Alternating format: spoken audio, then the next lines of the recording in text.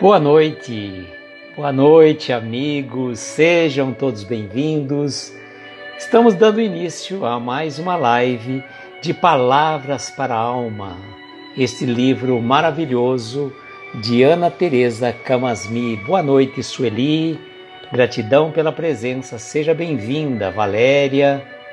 Boa noite. Hoje nós vamos ter uma surpresa no final também. Ari, boa noite, seja bem-vindo. Clara, Leninha, Denise, boa noite. Que bom contar com a presença de vocês, viu? Fico muito feliz. Ontem nós não tivemos oportunidade de fazer a live. Jair, boa noite. Naquele horário habitual, né? Boa noite, que bom contar. Mas a Morgana chegou também aí. Boa noite, Morgana. Seja bem-vinda por contas de compromissos familiares, mas hoje estamos de volta. Retornamos às 22 horas, o horário que nós já estamos habituados. Boa noite, Carlinha, seja bem-vinda. E o Ari também chegou conosco. Boa noite, meu amigo, seja bem-vindo. Bom, vamos mandar os aviãozinhos, como costumeiramente. Ah, foi simples, viu, Clara? Foi simples. A gente estava. Gente, tá vendo? Vocês não sabem o rolo que eu faço aqui. dedinhos nervosos dá esse problema, viu? Dedinhos nervosos. Boa noite, Silvia, seja bem-vinda. E Gleides, boa noite, seja bem-vinda você também. Então, Clara, foi uma coisa simples. Fomos a uma pizzaria apenas, é, porque estávamos lá ajudando a primeira semana do meu filho lá na, em Botucatu. E nós fizemos a live meio corrido, né? Foi bem assim rapidinho por conta de compromissos. O ambiente é diferente, a gente também sente a energia diferente, né? E mas vamos diminuir a música aqui para a gente conseguir falar um pouco melhor, né? Fica mais fácil. Sei a melodia melhora bastante. Carol, boa noite, seja bem-vinda. Olha, hoje nós vamos ter uma surpresa no final, tá? Uma surpresa no final. Semana passada tivemos uma outra surpresa e esta vez a surpresa é desta live mesmo, do tema desta live, que é, deixa eu fixar o comentário aqui. Opa, meu Deus, quase que eu fecho a live. Olha só cada rolo que eu fico fazendo aqui.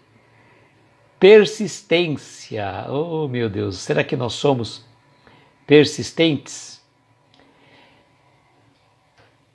Ah, Valéria estava no centro espírita itinerante de luz. Que legal, Valéria, que legal. Mas vejam que coisa interessante, né? Não sei se vocês, nem todo mundo estava na live de ontem, mas uma coisa foi interessante. Boa noite, Dani, seja bem-vinda. Ah, o que me chamou bastante atenção foi pelo horário que nós fizemos a live. Boa noite, Aline, seja bem-vinda. É, deu oportunidade da Patrícia, que é uma pessoa de Campinas, que está morando é, em, na Espanha, né? Boa noite, Josimar, seja bem-vindo. Teve, teve a oportunidade de estar acompanhando a gente ao vivo. Ontem, nós fizemos excepcionalmente a live às sete, um horário diferente, deu oportunidade a uma pessoa que, por exemplo, por morar, talvez provisoriamente, não sei, é, na Espanha, que são, salvo engano, quatro ou cinco horas adiante, deu oportunidade dela assistir ao vivo. Então, sabe aquelas coisas que passam às vezes pela cabeça da gente? Fiquei pensando comigo.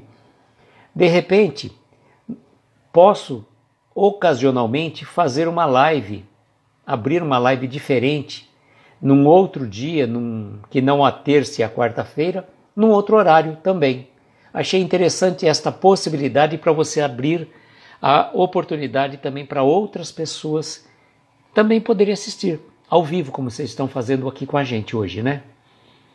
Adriana, boa noite, seja bem-vinda. Quatro horas a mais, diz a Morgana. A Morgana sabe bem, acho que o filho dela tá lá, né, Morgana? Saudade bate forte, né? Débora, boa noite, seja bem-vinda. Angélica, boa noite, você também, bem-vinda. Então eu falo, engraçado, né?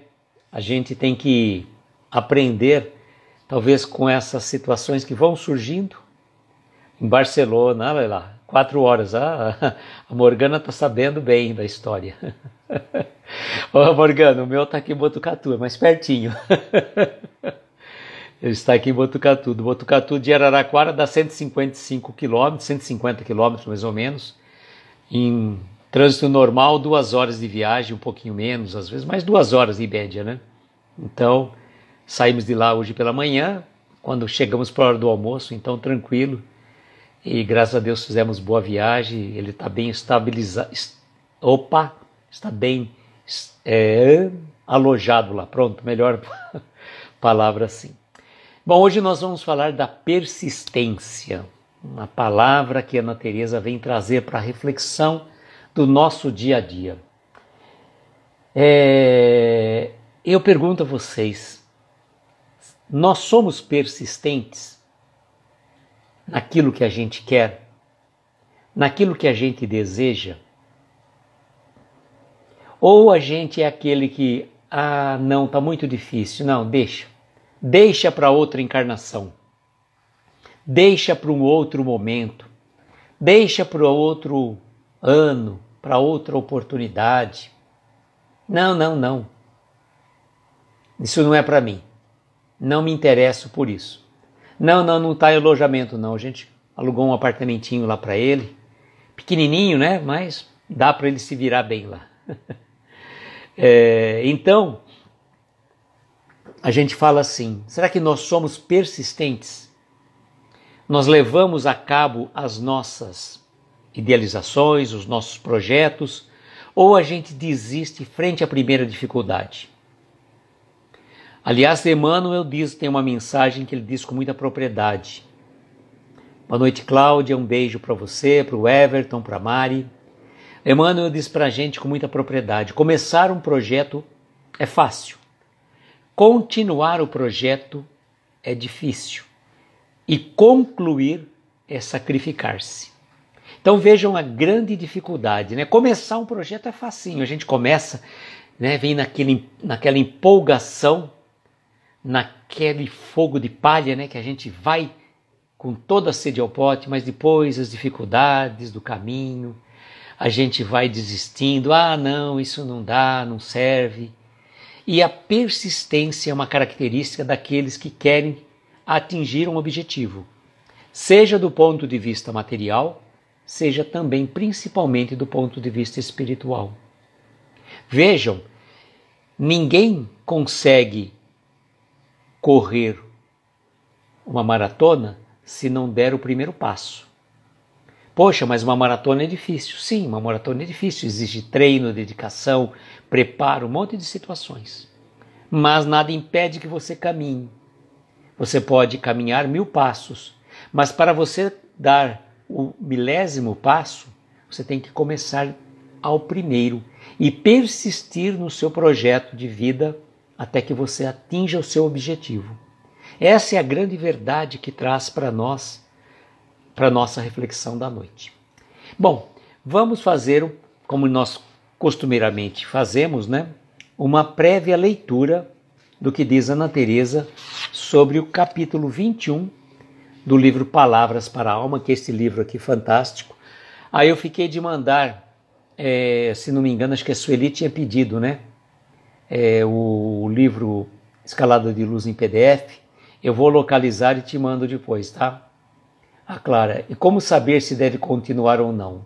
Às vezes ficamos insistindo e mesmo assim não dá certo. Bom, Clara, aí é uma questão diferente, né? Carlos e Natália, boa noite, sejam bem-vindos. Às vezes nós insistimos demais num caminho que não é nosso.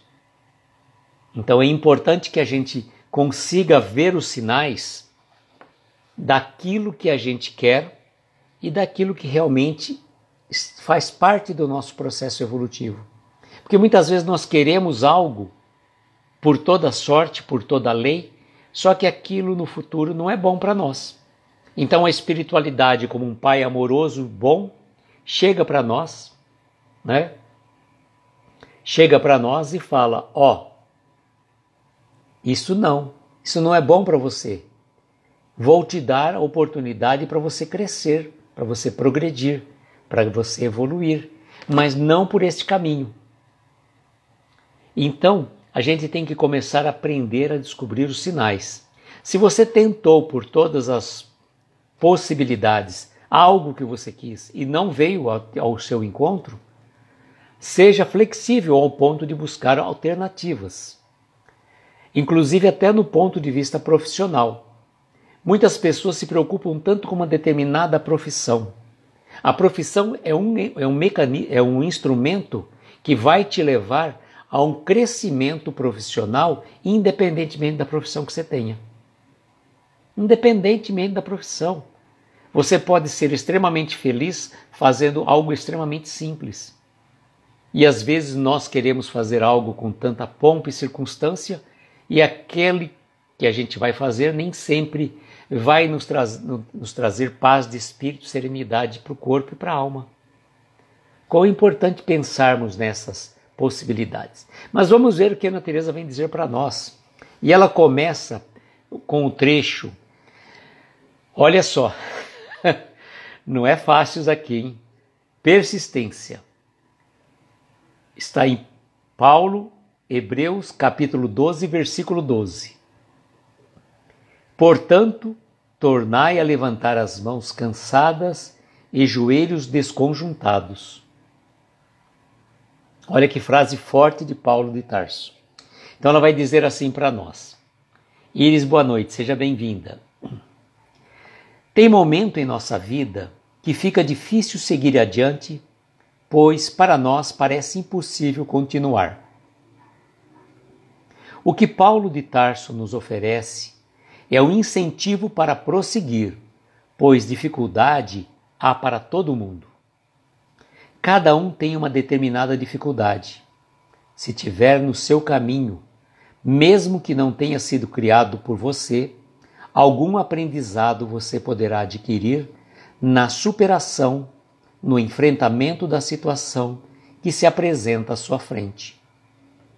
Então é importante que nesses momentos em que sente assim sem forças para prosseguir, você possa dar uma paradinha e olhar um pouco para trás. Boa noite, Avelino, seja bem-vindo. Então vejam, quando as dificuldades surgem para nós e parece que as dificuldades são intransponíveis, ela nos convida a fazer uma pausa, fazer uma pausa e olharmos um pouco para trás. Quando eu comecei a ler isso aqui, olhar um pouco para trás, eu logo fiquei imaginando: poxa, vou olhar para trás e ver as dificuldades dos outros. E não é bem nesse sentido que ela vai trazer para nós. Vejam só. Se puder, procure fazer uma retrospectiva dos momentos em que passou por outras dificuldades é verdade que cada vez que aparece uma, ela parece ser maior de todas. Perceba que naqueles momentos. Perdão, gente. Perceba que também naqueles momentos você também achou a situação que também era mais difícil. Pode ser até que você tenha considerado que não conseguiria suportar, pois na verdade só sabemos que somos capazes de suportar algo depois que tudo passa. Então, olha que interessante. Nesse primeiro momento, quando eu falo assim, olhar para trás, a gente logo pensa em olhar para trás para o vizinho, para alguém que está passando por situação de dificuldade, né? Só que não é assim que funciona, que neste caso aqui olhar para trás frente às dificuldades que nós já enfrentamos ao longo da vida. Boa noite, Zilda, seja bem-vinda. Quantas dificuldades nós já enfrentamos e já superamos e vencemos? Só que quando a gente está passando por um problema, por uma dificuldade, parece que aquela dor, que aquele sofrimento é maior do que o, os anteriores. Então, olha como é interessante a gente analisar sobre essa ótica o que a Ana Teresa vem trazer para nós. Se você puder, procure fazer uma retrospectiva dos momentos em que passou por outras dificuldades. Como ela estava dizendo aqui, né? É verdade que cada vez que aparece uma, ela parece maior que todas. Pode ser até que você tenha considerado que não conseguiria suportar, pois na verdade só sabemos que somos capazes de suportar algo depois que tudo passa. Então, o convite para retrospectiva, e aí já estou dando spoiler do que nós vamos trazer no final da nossa live, um exercício que eu vou trazer na voz de Ana Teresa, está aqui parado aqui no, no computador. Então, Ana Teresa, eu vou pedir licença, obviamente, à Web Rádio Fraternidade e à própria Ana Teresa Camasmi para divulgar, né, fazer no final da live a esse exercício que ela coloca no livro e também está lá no áudio. Ah, Débora, somos capazes, mas muitas vezes deixamos o medo nos dominar. Exatamente.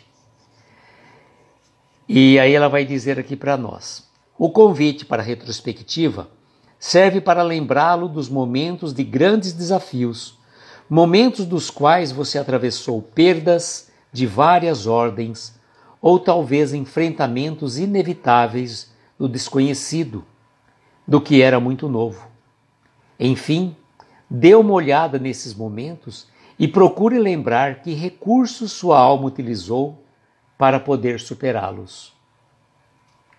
Se você puder reconhecer esses recursos, por exemplo, imagine que você tem usado recursos da ousadia, da impetuosidade, da coragem, da organização, do comprometimento, da responsabilidade, da criatividade ou do idealismo que fizeram com que você se agarrasse ao seu sonho para tudo suportar. Perdão, gente.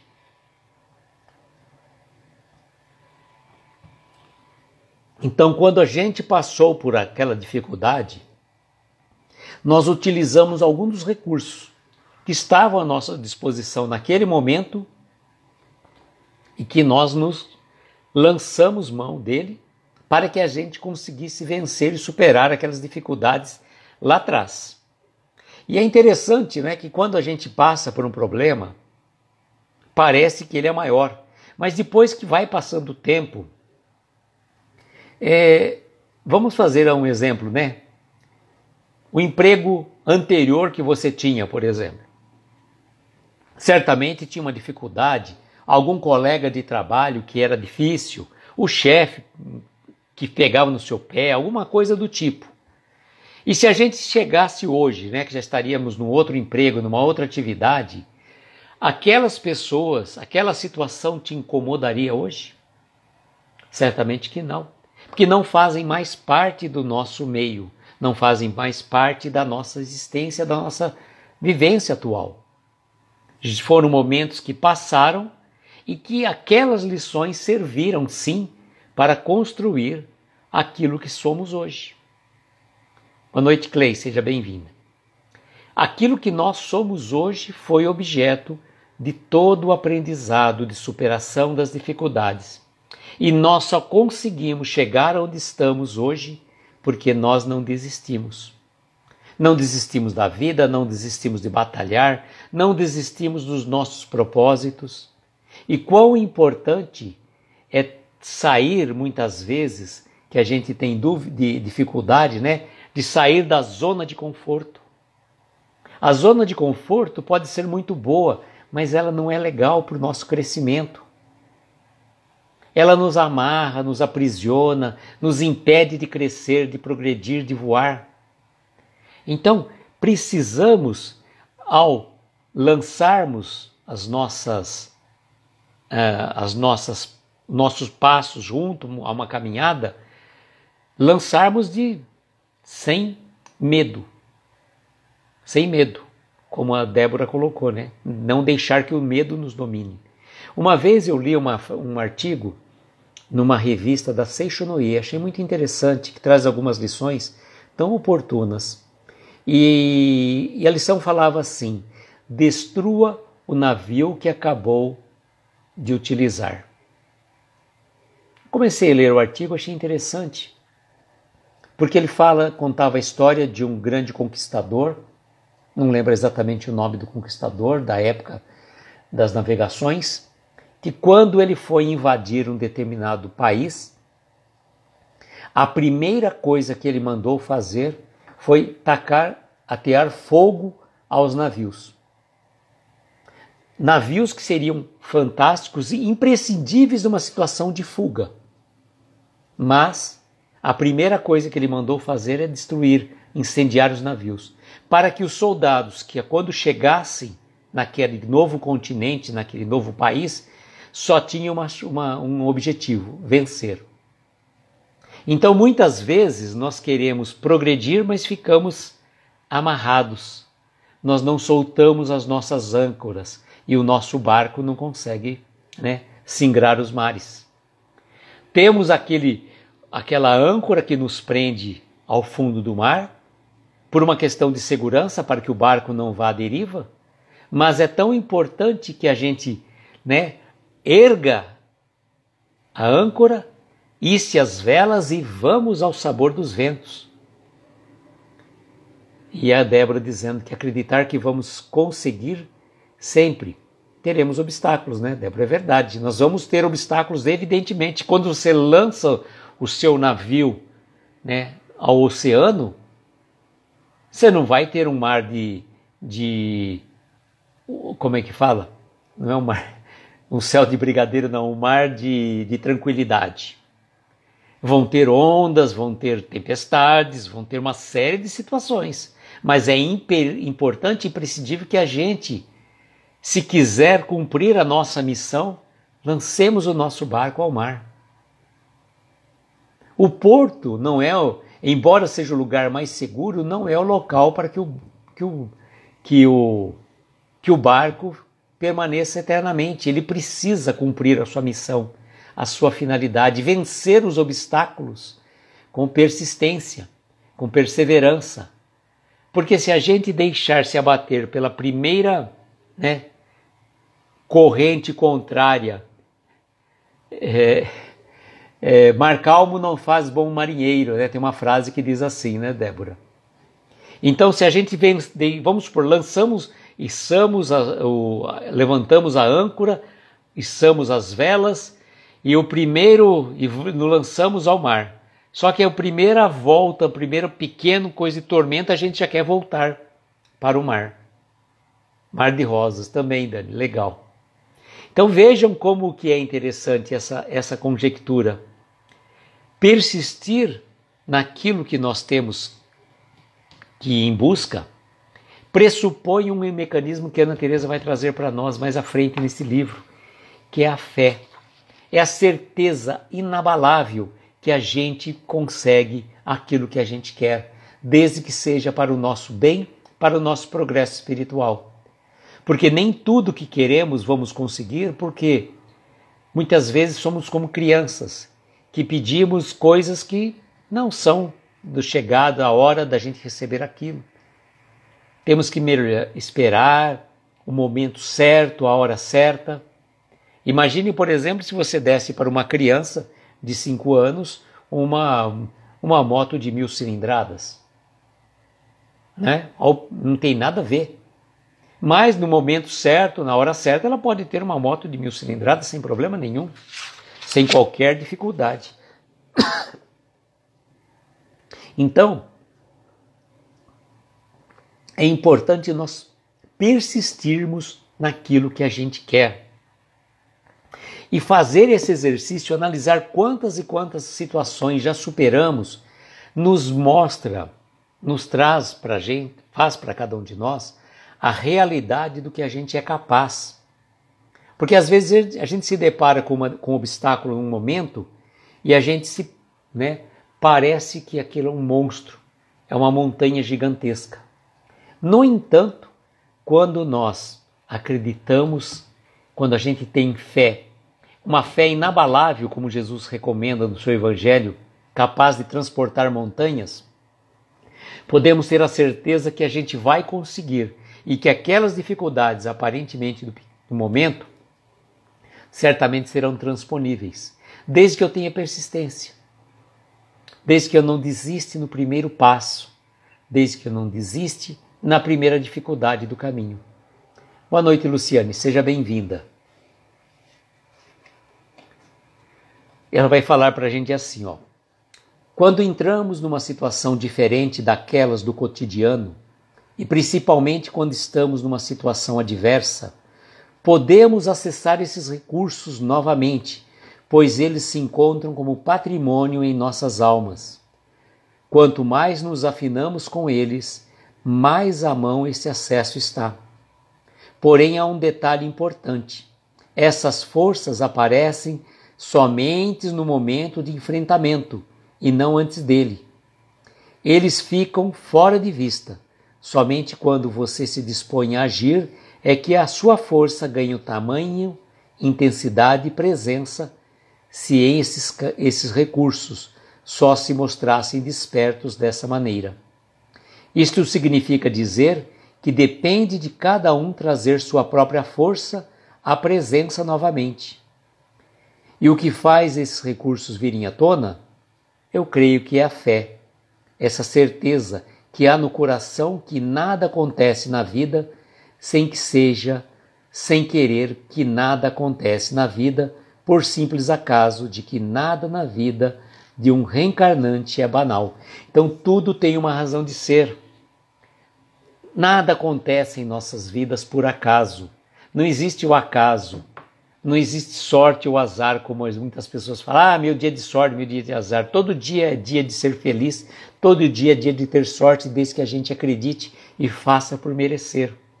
Olha só, acreditar, ter fé é uma forma de você conseguir, mas desde que você faça por merecer, desde que você vá à luta, desde que você persevere, desde que você trabalhe pelo teu crescimento, pelo teu desenvolvimento espiritual e material também, por que não? Que estamos encarnados nessa vida, obviamente precisamos progredir do ponto de vista material, mas não deixar que as conquistas materiais venham nos dominar. Que as conquistas materiais sejam mais importantes do que os valores espirituais. Que esse nem a traça corrói, nem o ladrão rouba. Então, buscar o com persistência, com perseverança, vencer, domar as nossas más inclinações, como fala lá no, no livro dos Espíritos.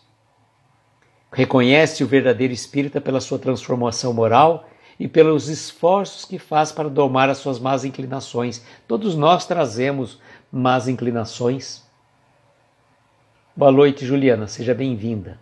Todos nós trazemos más inclinações, todos nós sentimos é, muitas vezes é, sem vontade, sem ânimo, mas a gente não pode deixar né, que aquele desânimo faça morada em nosso coração. A persistência, a perseverança é o mecanismo que vai nos impulsionar para o nosso crescimento e para o nosso progresso, tanto do ponto de vista material, como também e principalmente espiritual, como já tínhamos falado. Então, refletirmos que a fé ela é importante. E a fé é importante a partir do momento que ela mostra, olha, primeiro, nós não estamos sozinhos. Nada do que nos acontece foi por praga de alguém, por acaso, não. Tudo decorre de leis inexoráveis e imutáveis que nos regem a todos. Então, o acontecimento fatídico para determinada pessoa, ou de boa fortuna, né, com boa sorte, como dizem, muitas vezes podem estar relacionada com uma situação para o nosso crescimento e o nosso progresso espiritual. Coisa que muitas vezes a gente nem percebe. Então, cuidado, né? Cuidado da alma, cuidado do corpo, cuidado do espírito é fundamental para o nosso crescimento. E persistir, né? Persistir né? Desistir jamais, né? Desistir jamais. E ela vai trazer uma outra questão importante também.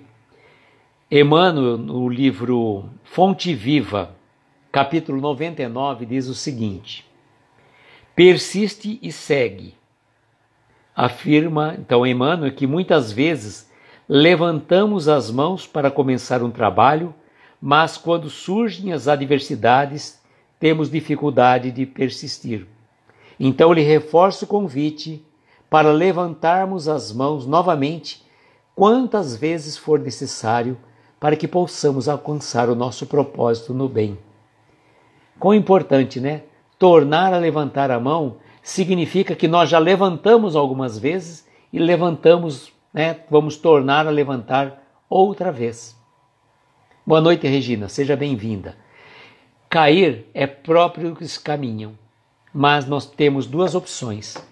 Posso cair e ficar estatelado no chão, ou eu posso ter fé em Deus, ter fé em mim, acreditar que eu sou capaz, que eu tenho capacidade de superar aquelas dificuldades, conseguir força para me colocar novamente em pé e crescer e caminhar. Olha quão importante. Cair, poderemos cair tantas e quantas vezes forem necessárias e possíveis. Embora a gente aprenda a lição, às vezes né, vamos, leva, vamos tropeçar tantas outras, né? E a Débora dizendo: levantar quantas vezes forem necessárias. Quantas vezes forem necessárias. É importante a gente fazer essa reflexão. E aqui o, o conselho não é nem meu, né? É de Paulo referendado por Emmanuel. Então, a gente aqui é um mero transmissor, né? E eu estou lendo praticamente o que a Ana Teresa escreveu, baseado no, no texto de Paulo e de Emmanuel, né? É, que ele coloca assim, né? Então é a persistência na fé que nos faz conseguir perceber que persistir vale a pena. Fé em nós mesmos, fé na espiritualidade maior, fé em Deus. Vejam só, como que eu posso ter fé em Deus se eu não tenho fé em mim mesmo? Como que eu consigo ser persistente se eu duvido da minha capacidade de conseguir algo? Se eu duvido da minha capacidade de modificar as minhas más tendências, as minhas dificuldades? Então é importante a gente refletir sobre isso e não deixar passar essas oportunidades em branco. O exercício que nós vamos fazer daqui a pouco é muito oportuno. E o que, que eu vou falar para vocês? Vocês vão acompanhar o áudio de Ana Teresa. O vídeo vai estar salvo, né? Depois, esta live, se Deus quiser, vai estar salvo. Nós vamos compartilhá-la também, subir lá no nosso canal do YouTube. Então, aqueles que não tiverem oportunidade de acompanhar agora, na hora que a gente estiver transmitindo o áudio, volta depois e procura fazer esse exercício que é fantástico. Eu poderia estar lendo aqui, mas eu vou deixar a Ana Teresa fazer a reflexão para nós, né? O exercício, desculpa. Ele coloca assim, ó, Ana Teresa: quando nós começamos um trabalho, quando nos lançamos na vida, já dizendo que não vamos conseguir, abdicamos de descobrir o tamanho da nossa força. Uma pérola só se forma quando a ostra se atrita com agente estranho a ela. Se não houvesse nenhum enfrentamento, jamais teríamos colares tão preciosos. Vejam que interessante essa comparação que ela faz, né? Quando a pérola, né? Do que é formada a pérola? Daquele grão de areia que vai atritar o corpo da, da ostra que por conta daquilo transforma-se num objeto de grande valor. Outra coisa ela diz assim: no entanto, é preciso cuidado nesse entendimento para não fiquemos, que não fiquemos fanáticos pelo sofrimento.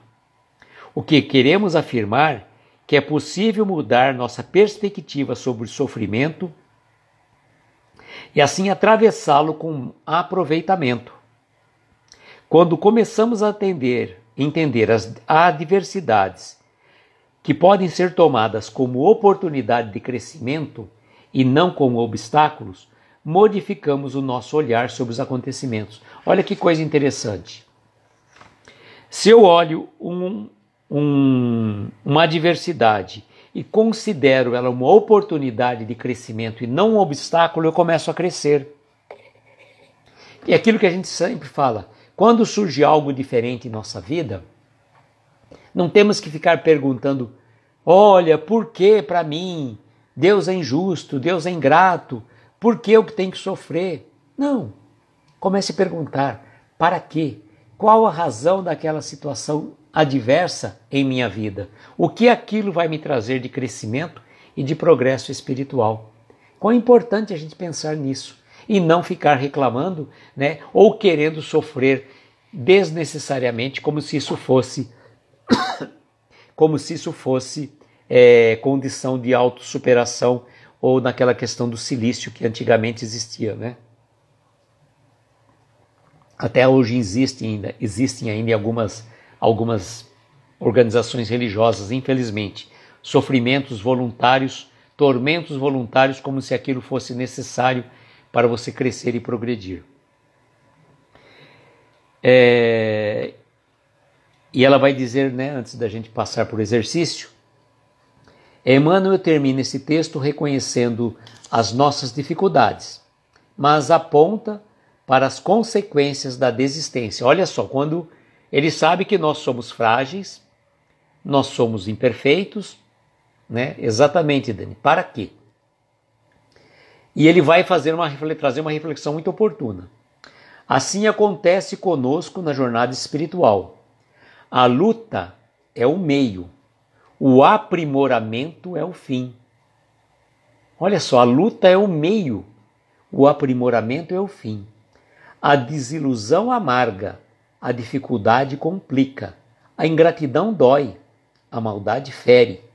Todavia, se abandonarmos o campo do coração por não sabermos levantar as mãos de novo no esforço persistente, os vermes do desânimo proliferarão. Então, o Emmanuel nos orienta a respirar e continuarmos mesmo se estivéssemos inseguros para prosseguir. Se seguirmos em frente, poderemos contar com a espiritualidade que deposita com muito carinho, se nossas mãos estiverem abertas à força, às bênçãos de que vamos precisar para chegar até o fim da nossa jornada. Ter fé em nós é o mesmo que ter fé em Deus, pois Deus é em nós. Porque, para que tal circunstância em nossa vida? O que precisamos aprender com isso? Perfeito, Dani. Bom, agora então chegou a hora da gente fazer o exercício. O exercício na voz de Ana Teresa. Eu vou fazer como eu fiz a outra vez. Não vai ser Ana Teresa ao vivo, mas o, o vídeo o que está lá no canal da Web Rádio Fraternidade, é a lição 23, dentro da playlist Palavras para a Alma, com o tema Persistência. Ana Teresa fez essa live, esta, esta gravação, no dia 21 de agosto de 2017, mas viram que é muito atual, tá? Eu vou colocar aqui, eu vou virar a câmera, vocês me dão licença um pouquinho para gente, para que a gente consiga aproveitar o melhor que a gente possa, né? Um momentinho só para a gente dar um enquadramento um pouco melhor aqui.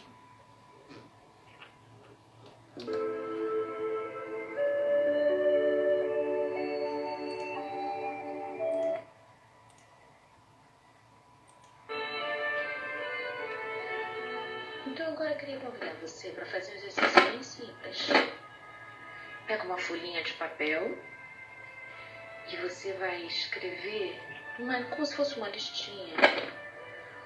Quais foram os momentos da sua vida em que você se lançou para algum desafio? Leve alguns minutos escrevendo isso. Respira. E depois que você escrever esses desafios, anota do lado quais foram as forças que estiveram presentes nesse seu desafio. O que é que você pôde usar da sua alma que te ajudou? Pode ser que você tenha usado é, coragem, é, dedicação, pode ser que você tenha usado reflexão, pode ser que você tenha usado confiança, pode ser que você tenha usado criatividade. Pensa, que tipo de recursos de sua alma você utilizou para isso. Anota do lado. Quando você terminar de anotar isso, os seus desafios, e as forças que você empreendeu para poder superar esses desafios, eu queria que você anotasse o que foi que você aprendeu, o que, que mudou na sua vida depois de você ter passado por esses desafios. Então, recapitulando, você vai primeiro se lembrar dos momentos de desafio, vai se lembrar das forças de sua alma que estiveram presentes para você atravessar, e por fim você vai escrever o que, que eu aprendi, o que, que se modificou depois que eu passei por esses desafios. Se isso for possível para você, amigo querido, não tem para ninguém. Você, toda vez que estiver difícil, pega essa lista e lembra. E eu já consegui passar por estes desafios. Também vou me esforçar para passar por esse que está aqui à minha frente. E creia, você não está sozinho. A espiritualidade confia na sua possibilidade de crescimento. Uma boa semana para você e até o nosso próximo encontro. É, realmente, gente, como eu falei para vocês, tá aí um exercício muito legal, muito oportuno. A Ana Teresa colocou aqui no livro, tá? O exercício, como eu falei para vocês, ó. Tá aqui o exercício. E eu achei mais interessante deixar que ela mesma falasse, né? E aqueles que quiserem ouvir na íntegra este o áudio de Ana Teresa que deu origem a este livro, né? É só entrar no site da Web Rádio Fraternidade, no YouTube, canal do YouTube da Web Rádio Fraternidade. Procure na playlist Palavras para a Alma. É, a, é o programa 023 que a numeração não bate aqui com o nosso estudo. Então vocês vão poder ouvir na íntegra a fala de Ana Teresa e até esse exercício repetido por ela. Mas eu recomendo a vocês, recomendo a cada um de nós quando nós estamos, né, quando passamos por alguma situação adversa, que a gente né, recorra a esse exercício e lembre de quantas e quantas situações já superamos. Né? Quão importante a gente aprender tudo isso. Bom, amigos, eu gostaria de agradecer imensamente a presença de cada um de vocês, cada um de vocês que esteve aqui conosco nesta noite. Gostaria de convidá-los uma vez mais para na próxima segunda-feira, dia 20 de março, às nove da manhã, no perfil da nossa querida amiga Dani underline S2 Pedraza, Bom Dia com Poesia. E que alegria, né? Que alegria. E fazendo menção aos nossos amigos que fazem lives, amanhã às 22 horas, os nossos queridos, Lu, desculpa, Lucas e Mari, casal de Kardec, estarão fazendo a live. Na sexta-feira não teremos a live da Dani, mas pelo que eu me lembre, ficou das nossas amigas é, Elaine e Érica fazer uma live às 22 horas. Na, no domingo, às 22 horas, o Evangelho no Lar com a nossa querida amiga Flavinha. E na semana que vem nós retornamos novamente na nossa programação. Certo, gente? Agradeço imensamente cada um de vocês, essa participação ímpar, que sem vocês, sem a espiritualidade, nada seria possível da gente fazer. Desejo, como sempre, que nós tenhamos uma noite abençoada de estrelas luminosas amparar os nossos mais belos sonhos. Muita paz, muita luz. Um beijo grande no coração de cada um de vocês e até a semana que vem. Tchau, gente.